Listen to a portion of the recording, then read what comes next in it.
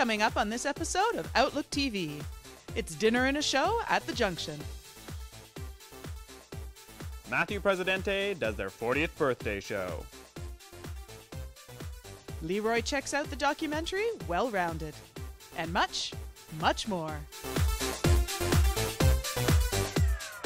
Hello, and welcome to Outlook TV. I'm Rebecca Wyman. And this wet little morsel in the background is Robert Mackay, and you're watching the Queer Magazine news show that brings you the stories that matter the most from wet coast to coast. It sure is wet everywhere. It's winter. We're going to kick it off in Vancouver at the Sum Gallery for the Geoff McMurchy retrospective. Queer activists and an artist, we get to see all their work over the past few years. In time lapse. Mm. Well, hello, Outlook TV. It's me, it's Solid. I'm here at the Sum Gallery because tonight, Time Lapse Posthumous Conversation, a beautiful tribute to the late Geoff McMurchy, is opening. I'm talking to some of the organizers of this beautiful exhibition to know more about what's going to happen here tonight.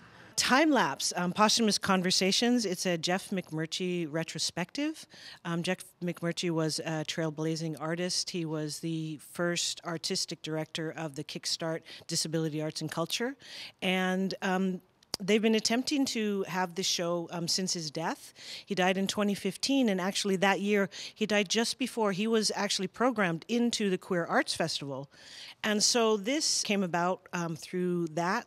Um, Yuri, who is one of the curators, and Persimmon Blackbridge is the other curator. So we've co curated this uh, together and it's all of his work. His work is assemblage. You know, he he went around in his wheelchair and picked up pieces, and he drew. Uh, he drew how you know he wanted it to be, and then would get folks to help him put it put it together. And so this piece over here, um, the um, hanging up my wings, like this is a car fender, and he uses this in um, a dance performance also. So there was a couple of pieces that Persimmon put together. This particular one, Ancestors, where the pieces were found, and you know put them together in what she envisioned, until and stopped when she thought it was Jeffly enough is so many people know this person and this community, um, and particularly the disability community, because he really brought out the best of people. It's almost a cliche. I hate saying it, but you know, he's one of those people where when you were around him, you were free. You know, your creativity, your personality, everything. And that's what it's like to be around real artists, you know, just being open and everything. And so Geoff's work, I think, here is really a small portion of this artist's life, but it's a really good representation of the sensitivity and the ability that this artist had. to Take really distraught junk and, and elevate it. It's not about making it beautiful. He, he somehow elevates things in a way that is really makes them slightly sacred. One of the things I love uh, so much about Geoff is I, I feel like he kind of did for disability arts what the Queer Arts Festival has done for queer artists. It's that it bringing it back to the art. These people are um, disabled in some way, just like we're queer, and but it's really it's the art. Yeah, I would have liked to have known him better and worked more closely with him. Um, I think our work has um, some commonalities as artists, and I would say I, I, miss him and I miss you know his presence in the world and what he's he's done here. Time lapse plus posthumous conversation is happening here at the Sum Gallery in Vancouver until December 1st. From Outlook TV, it's Ollie in Vancouver. And drag is back at the junction. It's dinner and a show. Finally, we're getting to throw back on our heels and our wigs, putting on our lashes, and seeing something live for once. Live? Who'd have thunk? Here at the Junction in Vancouver, despite the pandemic, the show must go on. We're here to find out what they're doing and how they're doing it. Originally when we first reopened, we set up a uh, COVID-19 safety plan, um, you know, to ensure that the guests feel comfortable within the venues. Uh, we've brought in extra plexiglass to separate different barriers. Now we're ensuring that guests don't stand up, they don't move around, that they get up and, and mingle, uh, you know, they can go use the bathroom, they can go outside, they can come back in and everything. However, when they're in, they're stuck to their table. We're doing a dinner show or one of our drag entertainments or something. We're ensuring that every person coming through the door gets their temperature check and we get their contact information.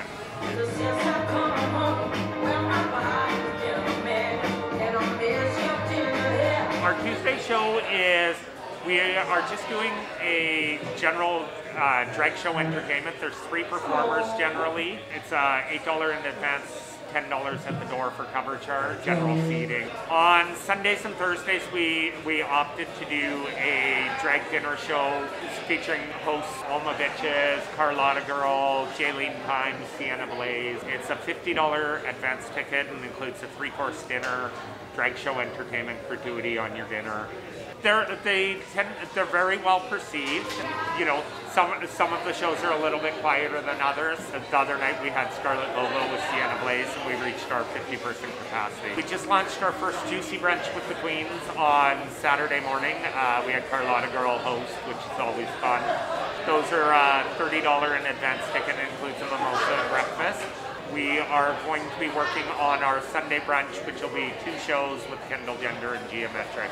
And that'll be a $20 ticket, includes uh, bre- breakfast brunch item.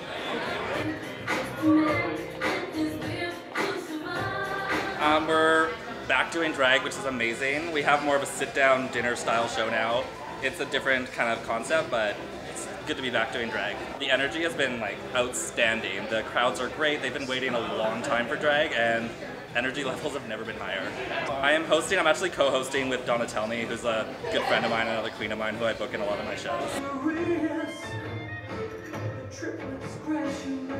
It's actually going to be a really fun time. Um, Misunderstood and I have been doing drag together at the junction here for for a couple years now, and so it's really nice to be back and like together.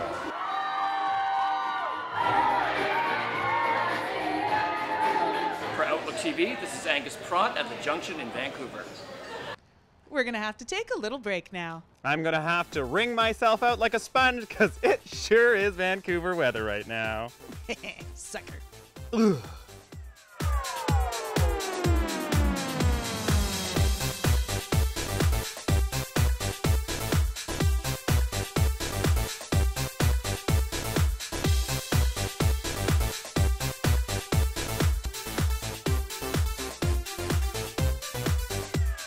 Welcome back. You're watching Outlook TV.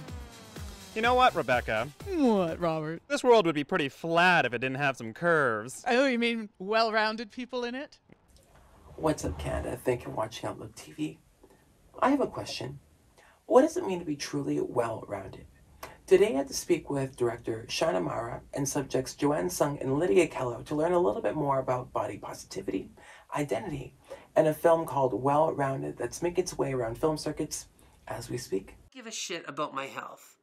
My size offends you. Let's start there. Well rounded means to me a documentary that explores different lived experiences for fat folks who are queer and also are non white in Canada. My body is my body. I won't give them an apology.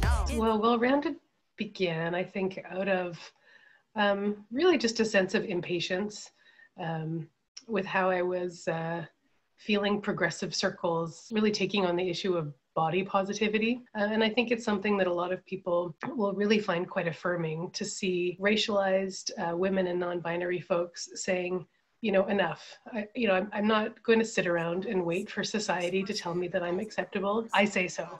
And actually, here's here's a chance where you're going to listen to me and learn from me. In Chinese culture, food is love and food is how we connect. I woke up 10 minutes before shooting. Lydia and Shana can attest. And um, so watching it back, did I forget that I was talking about getting waxed for the first time? Yes. Uh, and going into this documentary, when inviting subjects in, I was very frank about where I was coming from. You know, I, I kind of came to this as, as someone really understanding my Moroccan roots and questioning why in my home I never hated my body. I only learned that I should hate my body outside of the home. Like all of this is very, very political in the sense that it's not just about being healthy and being fat, right? Like it's not because that's not always achievable for a lot of folks. And I think that even within the body positivity movement, there is a lot of ableism.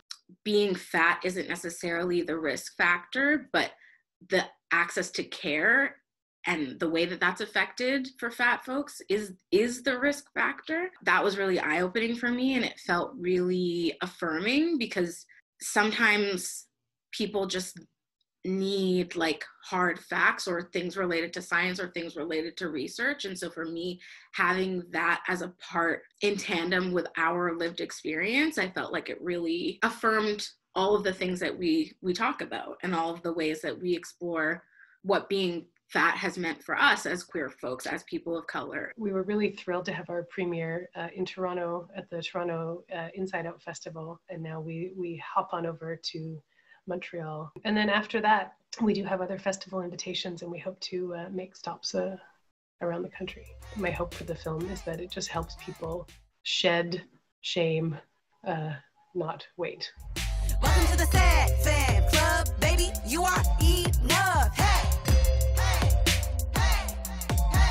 Thank you so much for watching Outlook TV. From my home to yours, my name is Leroy Wen. You know what, Rebecca? I'm missing one thing right now, and it's a lamppost.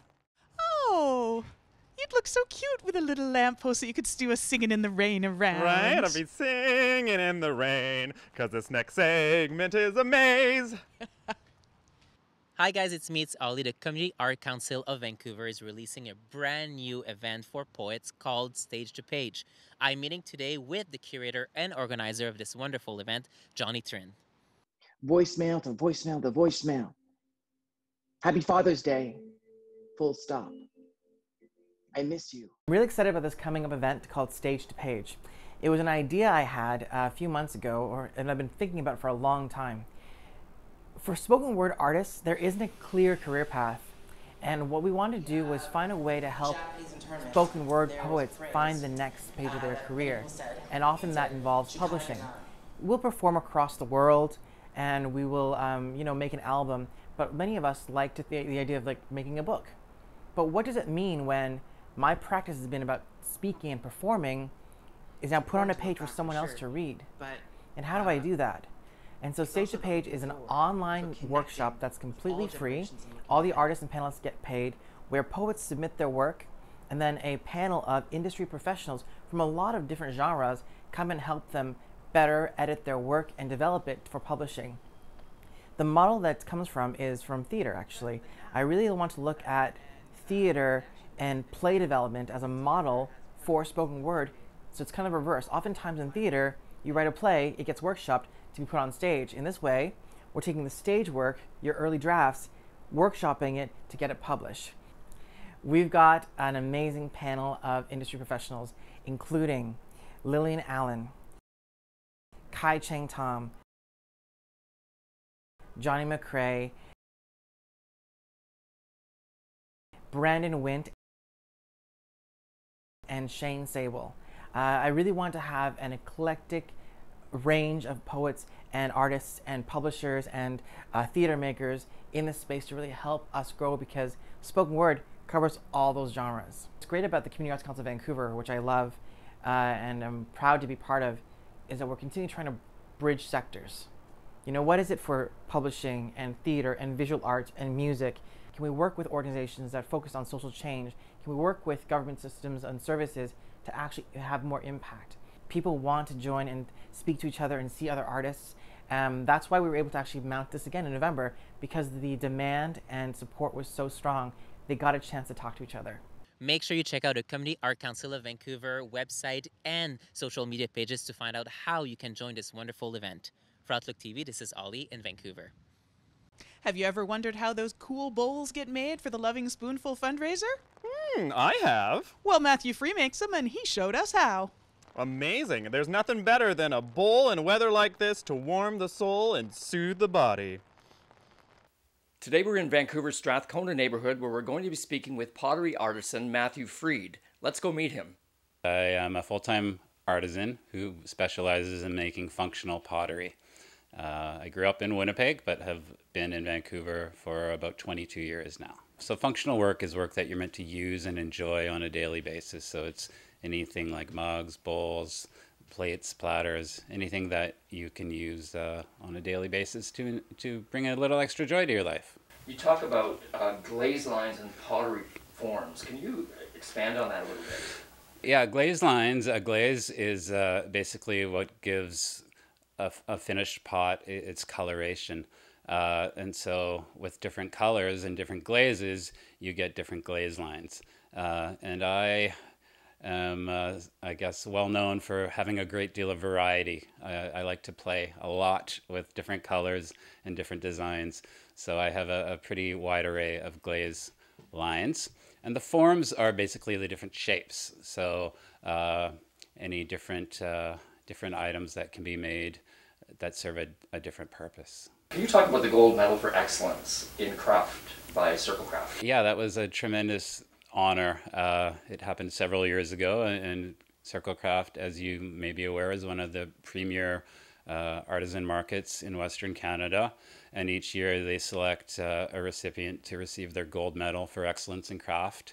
And uh, just so humbled and honored. And it meant a great deal to me to be kind of selected by a group of esteemed uh, professionals.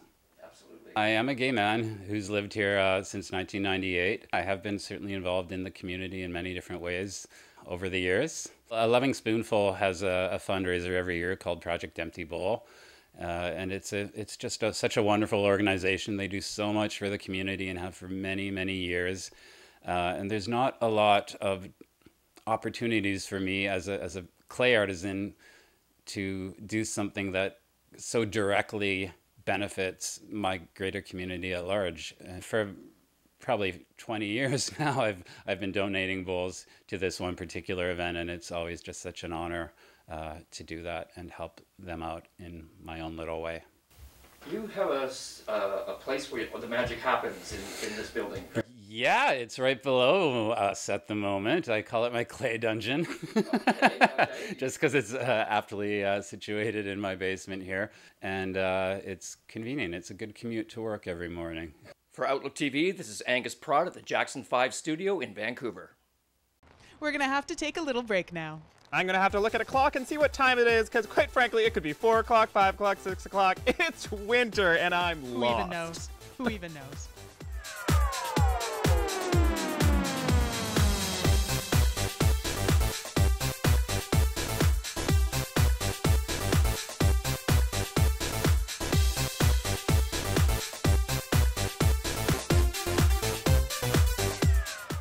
Welcome back. You're watching Outlook TV. And another thing people are doing during the COVID is cleaning out their closet. But Ivan Sayers has a closet unlike anyone else's. We're talking a closet full of frocks, full of smocks, full of dresses and gowns. They got every sequin, and we've got the story. Let's check it out, shall we? Hi, viewers. This is John Crossan, and we're over here at Ivan Sayers' house, famed fashion historian, and he's going to tell us all about historic fashions and early drag in Vancouver. Let's go in and meet Ivan. I've collected since I was in high school. I was brought up in the Okanagan Valley. I started to collect uh, primarily so that I had good costumes to wear for high school plays. I have women's clothing back to the 1750s. I have men's clothing back to the 1730s.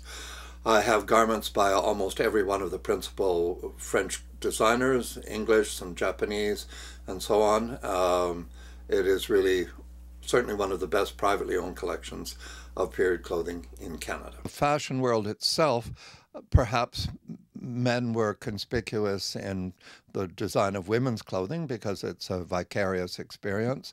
They know how they would want to be, if how do, they would want to be dressed if they were a fashionable, appealing woman. I did want to mention the Dumbells, primarily because they're a Canadian reference, and they they were uh, an entertainment troupe associated with the Canadian Army during the First World War. So, in order to have uh, an entertainment troupe that did essentially vaudeville, um, without the presence of women, it was necessary for, for some of the men to cross dress. They became hugely popular. Uh, I assume they were pretty talented and clever and funny and uh, successful at morale boosting and so on. Uh, so much so that actually, after the war was over, they continued to produce skits and presentations and so on and so forth all over Canada. And they did that into the 1920s. One of the great treasures in my collection, and I have a lot of treasures, I'll tell you, is a cape in blue and gold lame. It's from the late 20s. It's lined in pale yellow uh, silk chiffon. I think it's probably the only piece of their wardrobe from the performances that exists. And it's a, a fabulous little bit of Canadian military history in its eccentric way. Drag is a, a isn't really just cross-dressing. Cross-dressing is to is to more about passing as a person of the other gender. But drag is theater. Drag is larger than life. It's hyperbole. It's all of those things. Um, I, I, used to enjoy going to the drag shows in Vancouver because it was so interesting to see how the performers interpreted what women looked like. Um, because it isn't really the same. Okay, this has been John Crossan with Outlook TV. See you next time. Matthew Presidente turned 40, and he celebrated by inviting the world. There's nothing we need more than to unify while sitting in our rooms alone. So Matthew Presidente showed us just how to do it. We recently caught up with Matthew Presidente to discuss MP40, a celebration of his 40th birthday, and talk a little bit about his career and what he's been up to.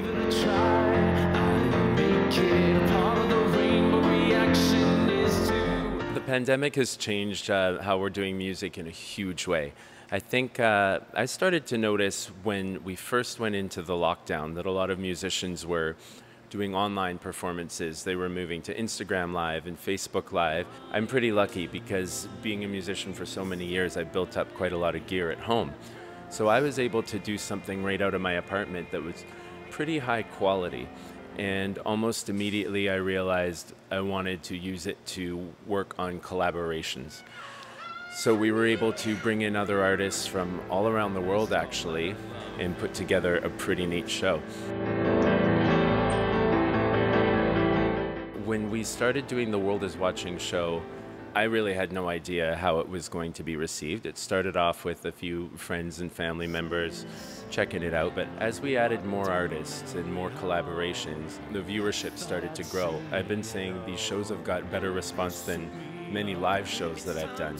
We air the show on YouTube, so we run a live chat along with it, and it still has that spirit. And I think with everyone being at home, it was fun to have something to watch together, to cheer each other on, and um, to share some wonderful music with everybody. I am an ocean, wide and strong. This month, I had my 40th birthday come up, and we decided to do something a little different. All the artists who've been involved um, through the weeks each picked one of my own tunes and did their own cover version and a unique twist on it.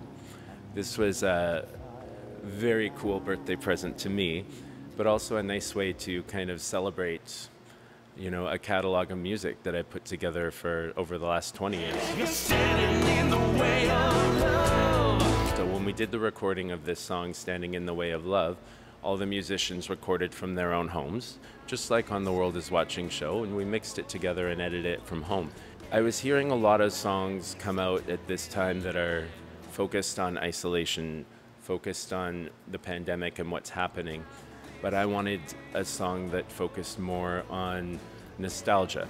So I call it a late summer love song. So we did this song during quarantine, but it sort of looks back to the past when things are a little bit different.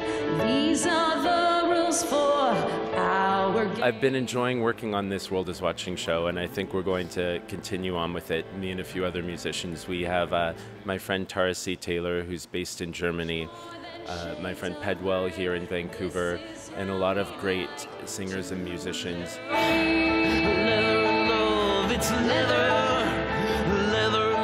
This is Patrick Massey for Outlook TV in Vancouver, BC. That is all the time we have for this rainy episode of Outlook TV, but we'll be back, well, probably before the sun is. That's for sure. Because you know what's back all the time? Because it's never disconnecting? It's the internet and you can connect on it. You can email us. You can find us on Facebook and Instagram and .coms and .orgs and .nets and what else is out there, Rebecca? I don't even remember anymore. Everything's the same. I know. The same. But the main point is you can volunteer with us because we need people across Canada. Help us out. Shoot us an email. We're a lot of fun. Thanks so much for joining us. I'm Rebecca Wyman. And I'm Robert Mackay. Stay, Stay safe, Canada. Canada.